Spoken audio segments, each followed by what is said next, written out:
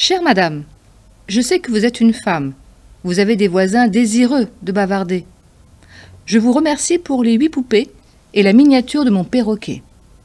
Je suis certaine que c'était vous, sur le pont de Ehrengrach, qui m'observiez mon désespoir, quand j'ai compris que j'avais perdu le dernier lien me rattachant à mon enfance. La réapparition de mon petit oiseau visait-elle à me réconforter ou à me donner une leçon cruelle? Saviez-vous ce qu'a fait votre livreur? Le malheur qu'il a causé?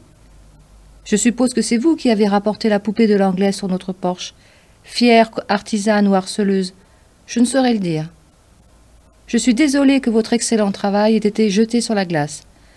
Mais vos intentions demeurent un mystère, et certaines personnes s'en irritent. On me dit que les bourgmestres ont tenté d'interdire les représentations humaines sous toutes les formes. Je me demande si vous craignez leur colère, à cause des mondes que vous créez, des petites idoles qui sont insinuées dans mon esprit et prévoient d'y rester. Cela fait un moment que vous ne m'avez rien envoyé. Il est vrai que, si je m'inquiète de ce que vous pourriez fabriquer pour moi, je redoute, plus encore, que vous cessiez vos envois. J'ai encore le pouvoir de commander des objets, n'est-ce pas?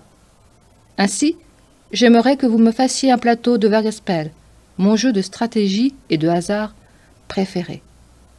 Dans la mesure où je ne retourne pas dans la maison de mon enfance pour Noël et que ma vie manque d'amusement, je me contenterai d'une version miniature.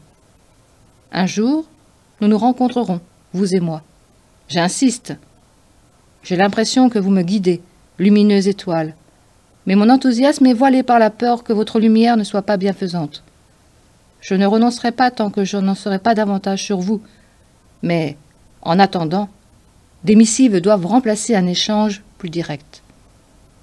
Je joins un autre billet au porteur, pour 500 florins, qu'il puisse servir à graisser les charnières de votre porte obstinément close.